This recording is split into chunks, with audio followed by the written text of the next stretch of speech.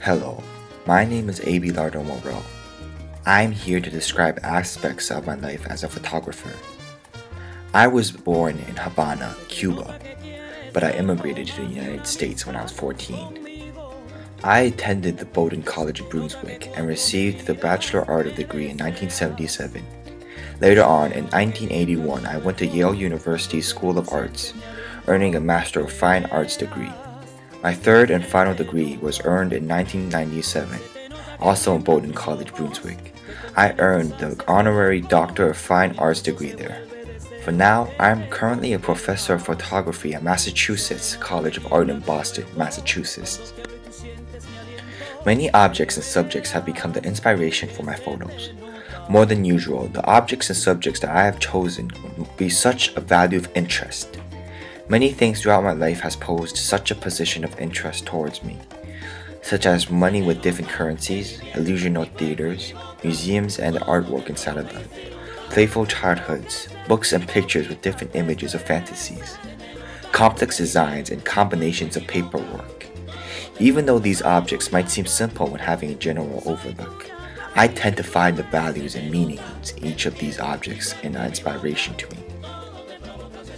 For art, many objects would have the use of motivation. To me, one of such motivations would be my curiosity, the satisfaction I get from making a photo which includes my beautiful, yet sometimes weird, view of the crooked but natural image combinations around the world, inside and outside the room. Different motivations also include my imagination for deferred yet beautiful images, Examples would be that such imagination led me to take many pictures through the artistic help of tent cameras, cliche veris, and camera obscura. I have photographed all around the world.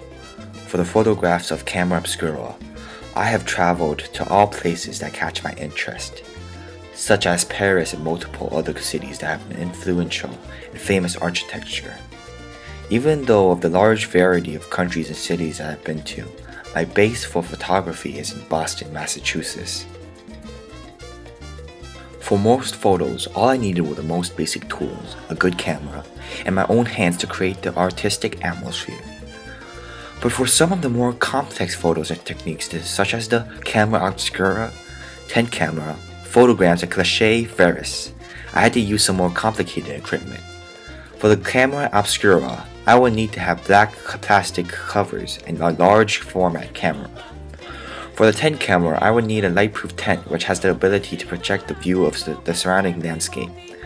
For a photogram, in which is a photo made without a camera, I would need a photographic paper.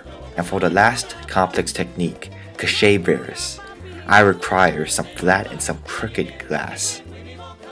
Not many things occurred that actually influenced my life as a photographer. But one thing that happened, and which could be one of the main reasons why my family fled Cuba, and one of the main reasons I take pictures with such a style, is the 1962 Cuban Missile Crisis. As my family was scared of a nuclear weapon breakout, we were forced to immigrate to the United States.